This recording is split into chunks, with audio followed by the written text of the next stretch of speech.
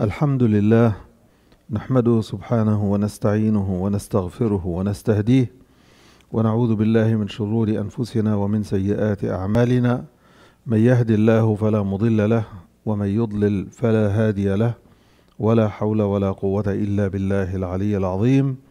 وأشهد أن لا إله إلا الله وحده لا شريك له وأشهد أن محمدا عبده ورسوله.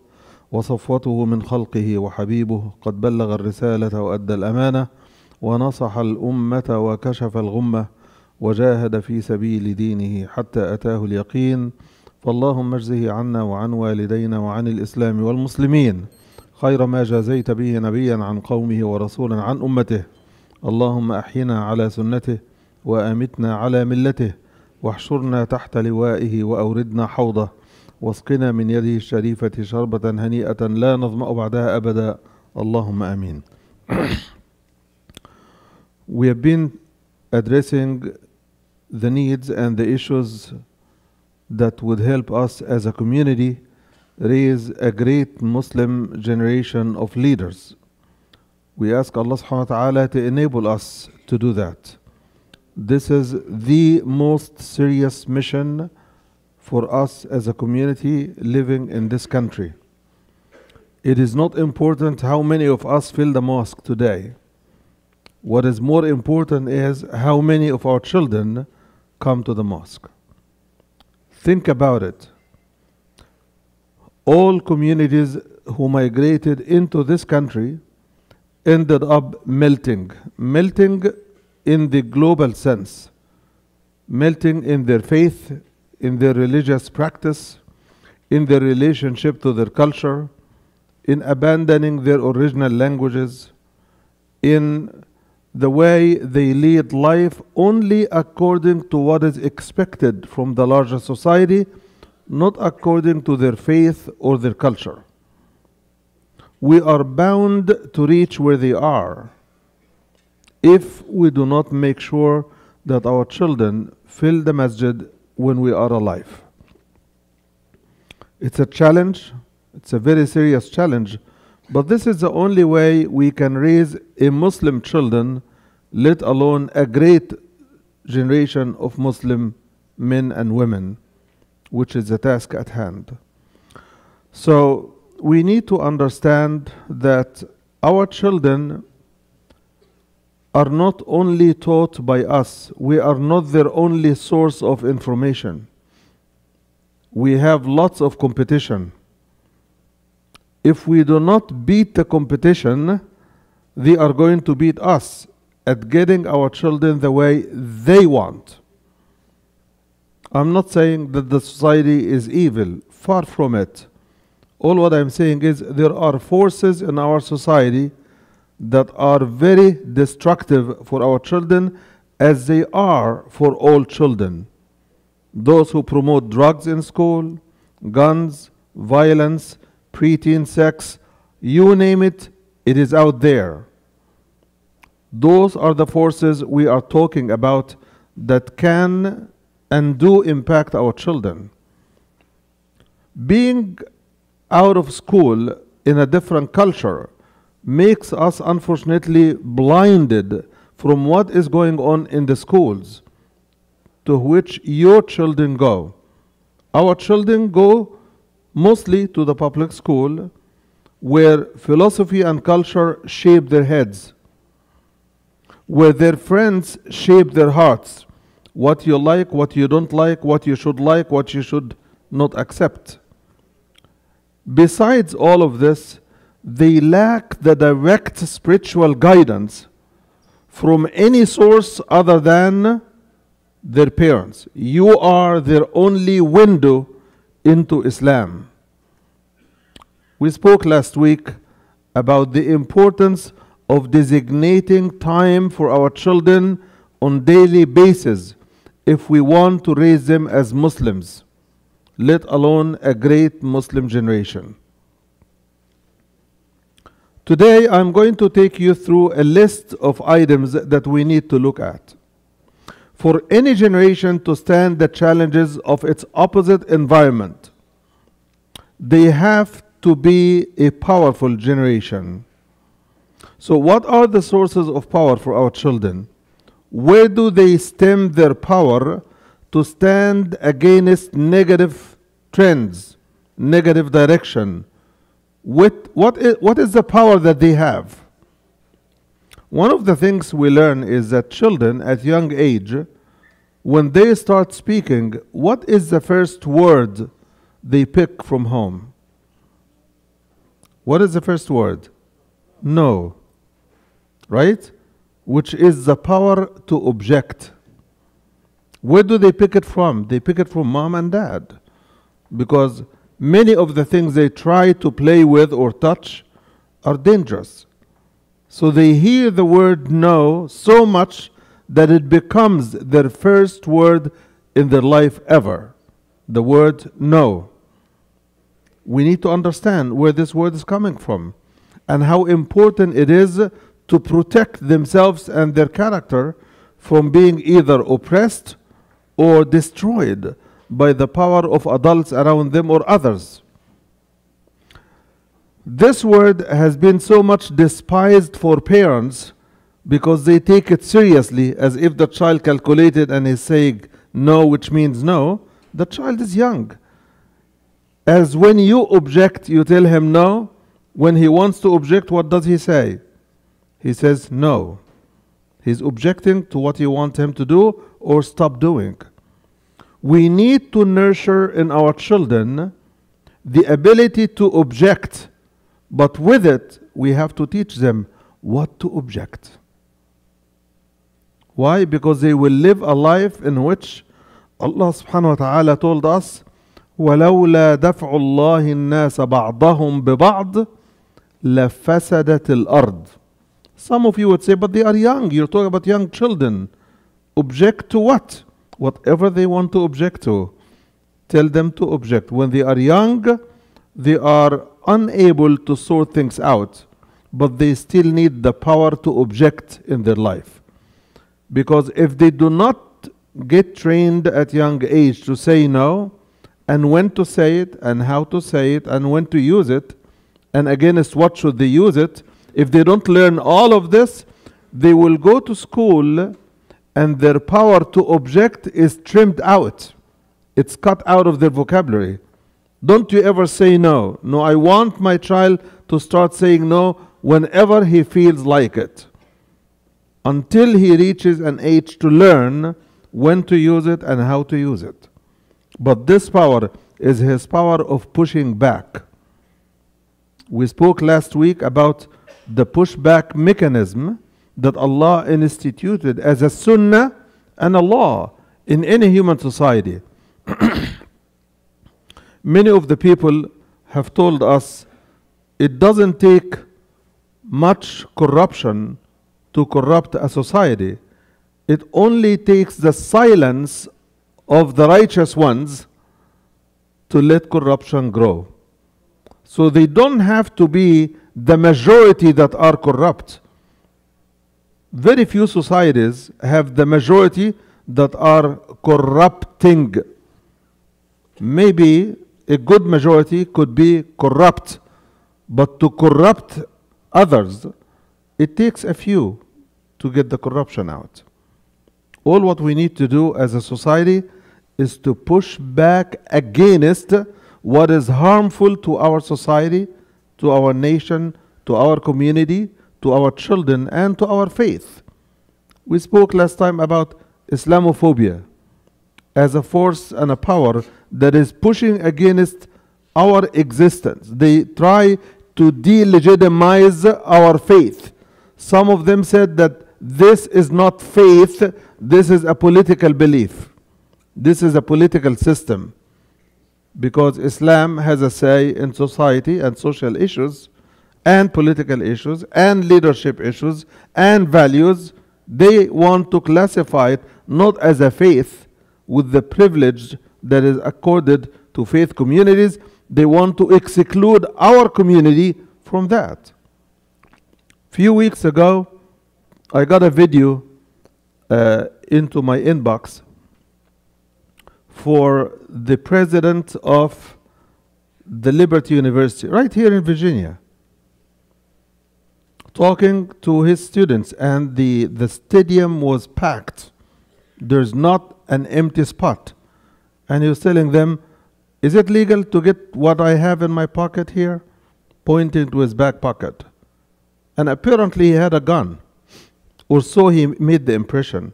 He said, I don't know if it's legal, but I want to encourage you, telling his students, to get yourself a gun so that those Muslims, if they come in, they found us ready.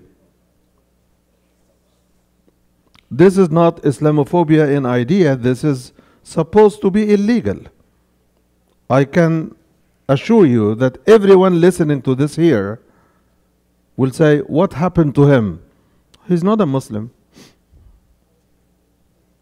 He's not a Muslim. So he can say and do anything. Just imagine if a leader in any Muslim community would make a similar statement. How much attack will you get? Not only as the speaker, but everybody. But the reaction should not be that we are a peaceful community. Nor is it supposed to be violence for violence. Our reaction should be to teach others about our faith. The same students he was addressing, I am sure some of them, if they learn Islam as is, not as thrown at them, they will be free from where they are. They will not be hostages to such hate speech and violent speech. So all what I'm saying is those kids at those at this university, they are at the age of our own kids. Right? If our children are present and they raise their hands and they speak up, the environment will be different. The response will be different. But the kids in the auditorium were clapping and screaming and happily responding to the call. I believe our kids need to know where they are living and what is going on. CAIR, the Council on American Islamic Relations, just issued a, a, a statement, a lengthy statement, assessing the position of Islamophobia in America. And they said Islamophobia at, uh, triggered attacks against Muslims have risen up to 76% in one year of the Trump administration. And you know what I'm talking about. From pulling the scarf of women to refusing to give a right to a Muslim in a cab, so many other things. But those are not the big issue. But if we let those fester and grow, it will go to what the university uh, president was telling his students. And if we let this one stand and don't push back, they will do what they promised to do. I'm not trying to scare anybody, but these are things that are running in our life. And unless we prepare our children to stand with their faith and educate everybody around them, how do they compete in the marketplace of ideas? So, when the Prophet ﷺ says, خيركم من تعلم القرآن وعلمه The best amongst you are those who learn the Quran and teach it.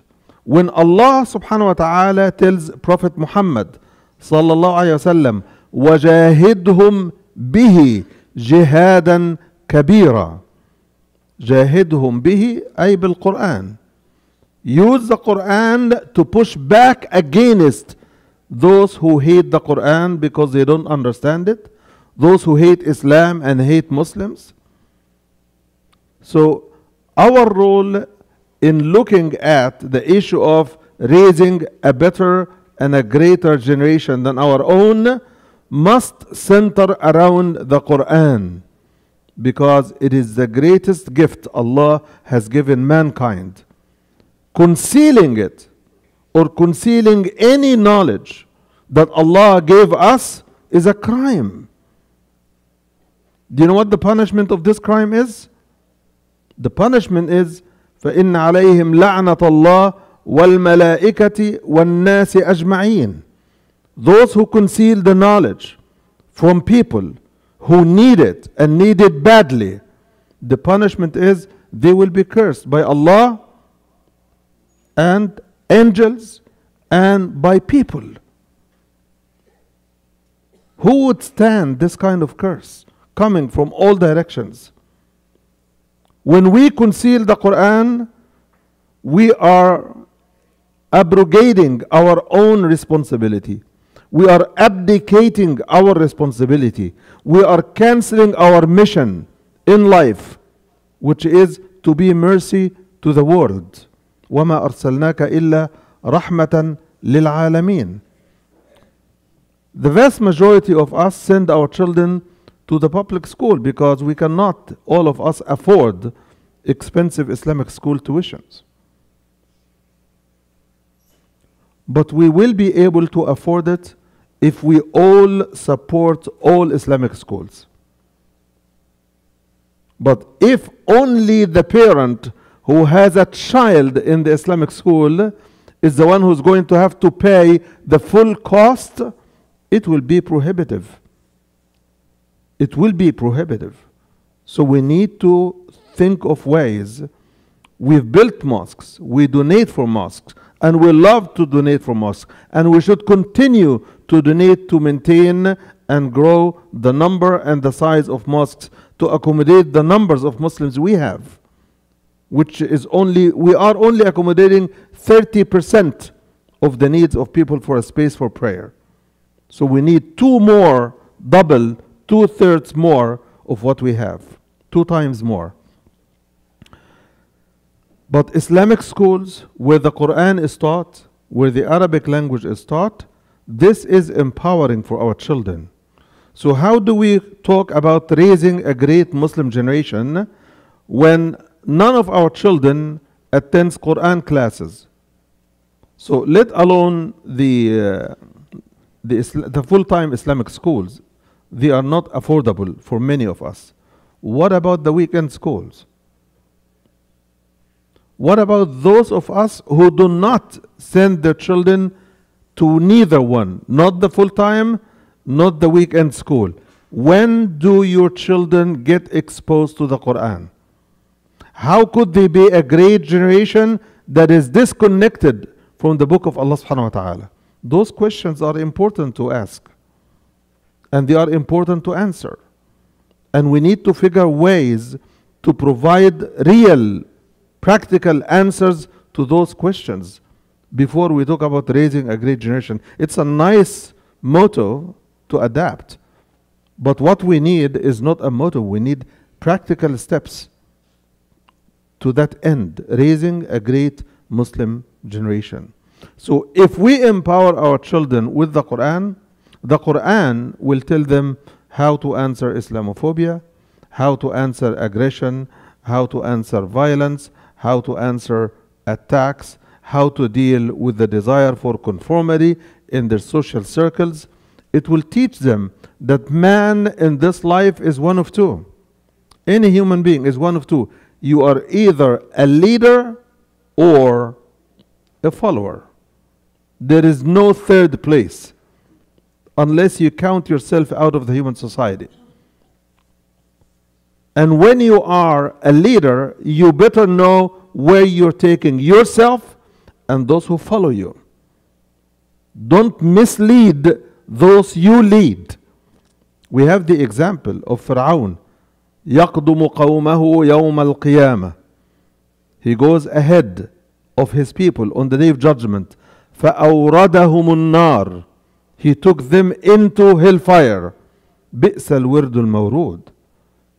So I should not follow any leader, no matter how popular that leader may be.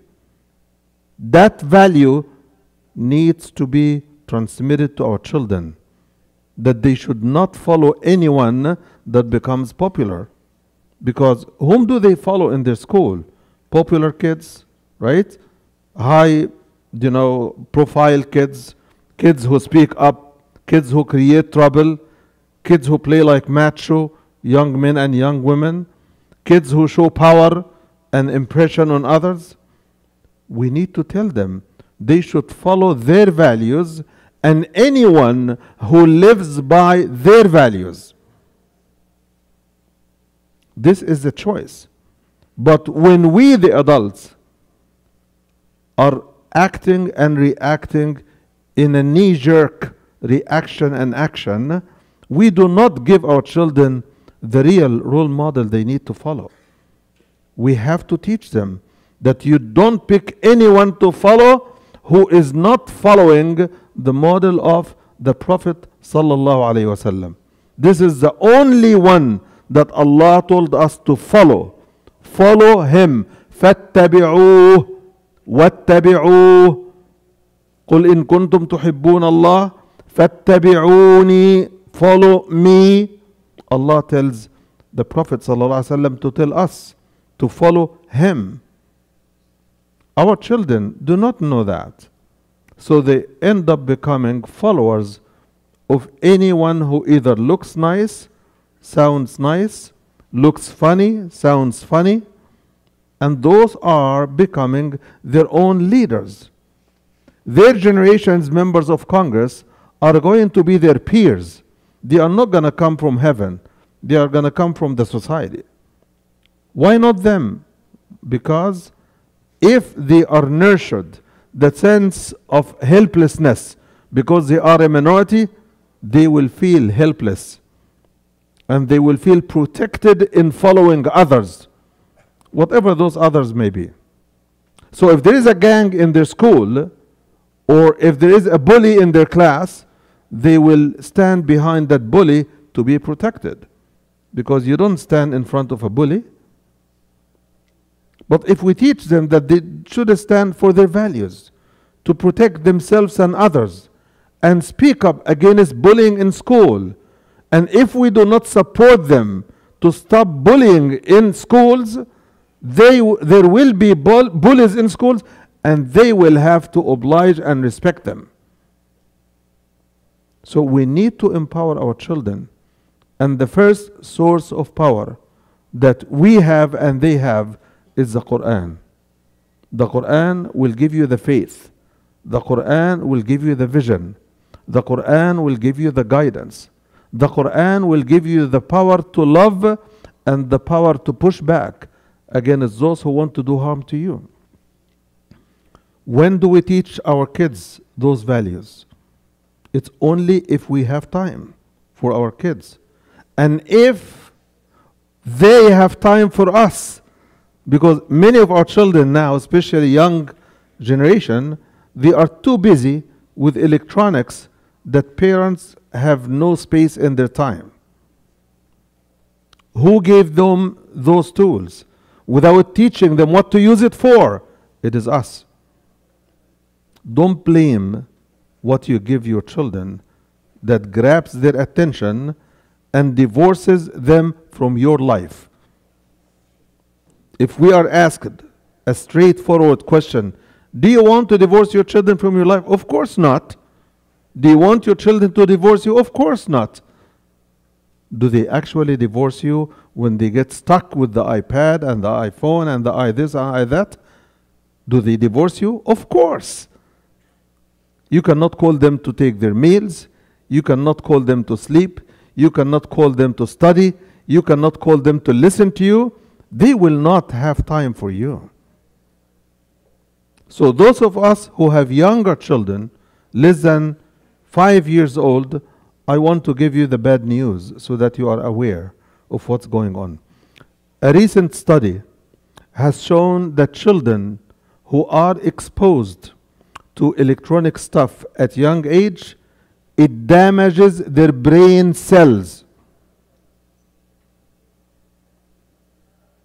Should I repeat this? Is this the first time you hear it? And the damage in children is much greater than the damage that also happens in adults. When you use your phone next to your ear, the microwaves that run from the phone to the tower and the opposite are very damaging. In fact, there is a conference in the United Nations that will be held around this issue What legislations should country have so that cell companies reduce the amount of radiation that cell phones and electronics radiate into the brains of people, young and old. But our children who are using those tools, they are innocent. They don't know what harm is coming to them. I was told by uh, a staff member here that our staff, the few that we have here working at Dar al Hijrah, started to forget things that normal people should not. And I'm not talking about my generation, I'm talking about the younger generation. I'm talking about 30 and 20. They go to the office and say, What did I come here for? Forgetfulness is an effect of extensive use of the cell phone. The study also says that it doesn't only damage if it is put in your upper heart side pocket, even if you put it in the pant po- pocket, it also will damage your you know, productive organ, organs. It does damage. But because we cannot live without it and we have to carry it, women who put the phone in their chest, they damage and it causes breast cancer. It's the same study.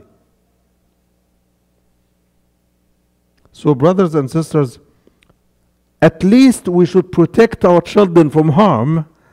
If we cannot take their hands forward to what is beneficial, at least, as doctors will tell you, the first thing you learn in medicine is do no harm. A patient comes to you, don't make his situation worse. If you can't treat him, at least keep him as is. Our children are harmed by things that we give them, whether it is what are their priorities. Oh, we want you to do well in school. That's the first priority. So we wake them up for the school, but not for the Fajr.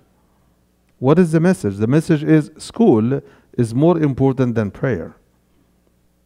And then we want to fight the school to allow them to pray Zuhr when we didn't fight ourselves to put them early in bed to be able to wake them early for Fajr.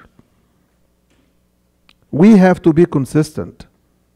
We have to admit our faults and accept responsibility. Our children is our future and the future of this nation. They are part and parcel of whether or not they will be led or they will be leading. So if you like what you get from people who are leading the country, if you like the direction where we are heading, if you like our foreign policy, domestic policy, if you like the messages that you get from politicians to this society about Islam in particular and Muslims, leave things as is. But if you want to effect a change, you have to bring a generation that knows what it needs to do. And the first step is to connect our children to the Quran. I'm going to stop here because I want this message to sink and take its time to sink. We grew up without the Quran, most of us. And most of us started to commit to Islam at older age, whether it was 20 or 30 or whatever age.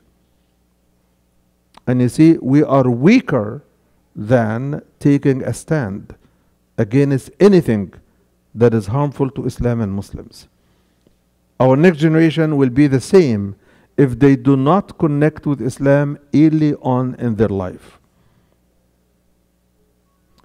Any human being needs to connect to something that constitutes their center of gravity in their life. If it is the Quran, Alhamdulillah. If it is not, whose responsibility is it to bring the Quran into the center of lives of our children? May Allah subhanahu wa ta'ala guide us to do the right thing.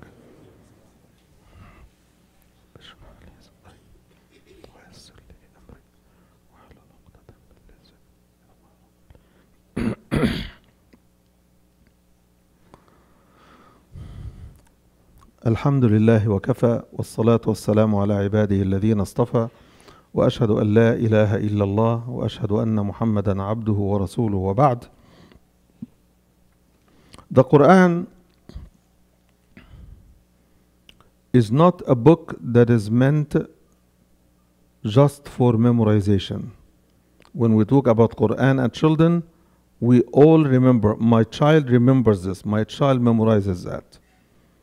Memorizing the Quran will help the child or the adult recall and read the Quran without having to refer to a book. So it's another addition of a book, but it is the Quran. Very important. And it's a great blessing to memorize the Quran. But it is a greater blessing to understand the Quran and to live by the Quran is even greater than just understanding the Quran. We always say that the Quran has barakah. Just let him memorize it. And the barakah will be all throughout their life. Do you know what the barakah term means? The term barakah and baraka means blessings. Do you know what blessings are? Blessings come in the form of either knowledge that saves your life, food that nurtures your body, values that control your compass and direction. So we have to know what barakah is. Barakah is not the presence of a book called the Quran on the shelf or on the dashboard in my car or even memorizing the Quran in my heart. The benefit of the Quran is the barakah of the Quran. So if I don't use it, I don't get the benefit. So there is no barakah. There is no barakah. What is the barakah in money? The barakah in money is when it buys you what you need. Right? When it's used to protect you, to advance your cause, to protect your health, and to feed your family, and to grow your business. That's the barakah of money. Right? When it helps you be charitable, generous, and a good donor, whatever you are, whatever the cause is. But if you do not use your money, but just save it in the bank, what barakah do you get from the money? So, barakah is benefit. And benefit is only the result of using what you have. If you don't use it, it has no barakah.